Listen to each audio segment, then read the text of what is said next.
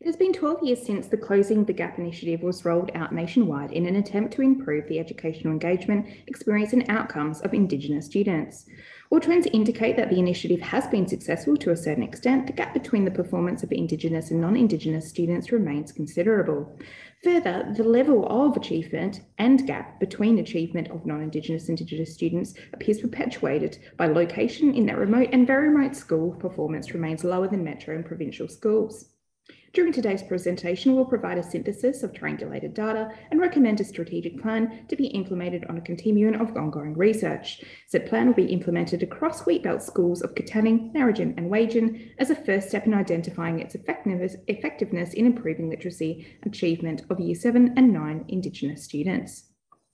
Analysis of NAPLAN and the 2020 Closing the Gap report were consulted for a national overview of student of Indigenous reading achievement across Year 7 and 9 students. This was compared to non-Indigenous students, and as you can see, both data sets indicate one, that there has been an improvement between 2008 and 2018 for reading. However, two, the gap for Indigenous students remains around 20% lower, or in terms of bands, two bands below their non-Indigenous counterparts. The closing report Closing the Gap report also highlighted particular concerns in WA with no target outcomes met for reading. These outcomes are validated with data from the Western Australia Department of Education, as shown here. Again, we see a 30% difference in achievement levels for reading between Indigenous and non-Indigenous students.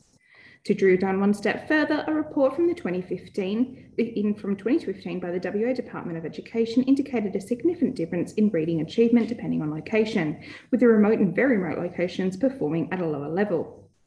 An attempt was made to identify qualitative data which could inform the underlying why of reading abilities. Unfortunately, only one data set could be found. Conducted by the School Curriculum and Assessment Authority, a report collating survey responses of Year 12 Indigenous students indicated discomfort with literacy, in particular the context of tests and exams.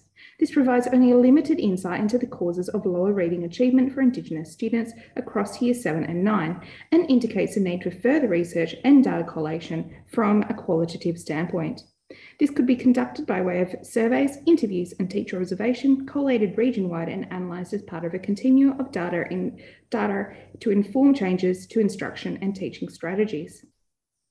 Analysis of the data clearly indicates a need to, while continuing with closing the gap initiatives, given its reasonable level of effectiveness, incorporate alternative strategies in the classroom to bridge the gap in reading and in reading achievement.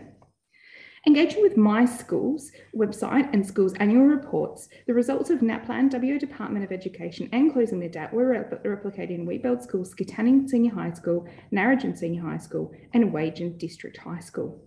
A high percentage of the student cohort across the three schools come from the lower, from the bottom of the quarter of the socio-education advantage scale, and each of the schools have a relatively high percentage of Indigenous students ranging from 17% to 25%. The implication here is that may be relatively less funding available for extracurricular activities or specialty staff. One potential contributor to reading outcomes for Indigenous students is attendance, with Wagin recording 73% attendance in comparison to 83% for non-Indigenous students, and Narrogin and Katanning recording a disturbing 57% and below for Indigenous students. This suggests issues around student engagement, which could be the result of A, school and classroom strategies, and or B, contextual factors such as family, economics, or health.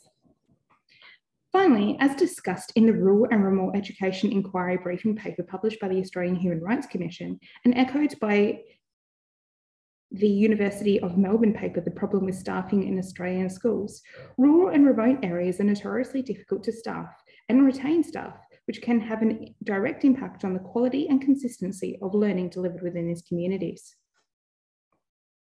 In employing the principle of data-driven decision making, as seen above in initially sourcing, triangulating, analysing, and synthesising data, it is the intention of this strategy to take steps to provide a more tailored approach to Indigenous students in relation to reading achievement.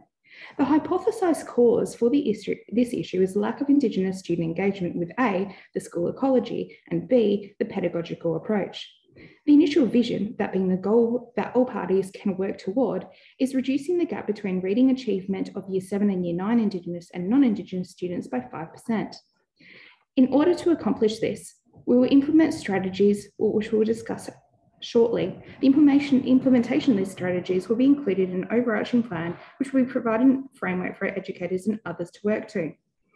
In following a framework with clear, specific and measurable goals, the effectiveness of each aspect of the strategies will be monitored through data collection.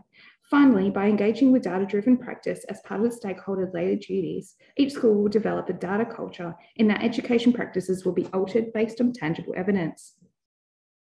At the onset of this process, it was decided that Eastern cycle of inquiry would be the most effective in its simple and continuum-based approach to identifying the issue, student engagement with ecology and pedagogy. Consider possible actions to improve the issue, monitor the effectiveness of, issue, of actions through assessment, survey and observation, then engage with research to identify impact of strategy. Finally, based on this data, making relevant changes to these actions. Each stage allows for reflection and improvement and ensures stakeholders remain focused on the overarching goal. All decisions are based on correlated data and stakeholder collaboration across three schools, ensuring an unbiased approach to the improvement of the learning experience. The strategy seeks to ensure all stakeholders, from participants, parents, and carers to teachers and administrators, feel safe, respected, and heard. Thus, from an ethical perspective, all parties will receive information files and consent forms, including an outline of the intentions and justification for alterations in teaching and learning methodologies. All stakeholders have the right to opt out of the experience and will be provided with mainstream educational opportunities. And the collection of data and amenity will be paramount through the incorporation of pseudonyms and confidentiality agreements. Furthermore, transparency will be incorporated in providing all, all stakeholders with summarised versions of data, implications of the data, and explanation for any changes made in teaching methodologies based on that data. The issue, as indicated by the data, is that while Indigenous reading achievement has improved across time, there remains a striking gap in standards achieved between Indigenous and non-Indigenous students. Based on this and taking into account the qualitative data as cited earlier, the plan is to, through a new strategy, increase Indigenous student engagement with the intention of improving reading and literacy achievement.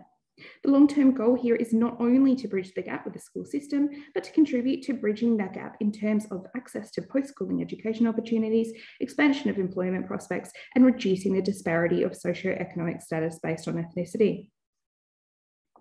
Before these strategies can be agreed upon, it is the recommendation of this party that further qualitative data be ascertained from individual schools to better understand underlying factors in performance, be it engagement, access to study, family or economic issues or otherwise. Thereafter, recommended strategies are threefold. First, research suggests that the integrating the eight ways of learning allows for Indigenous students to better access curricula through traditional methodologies that are better aligned with their historic culture.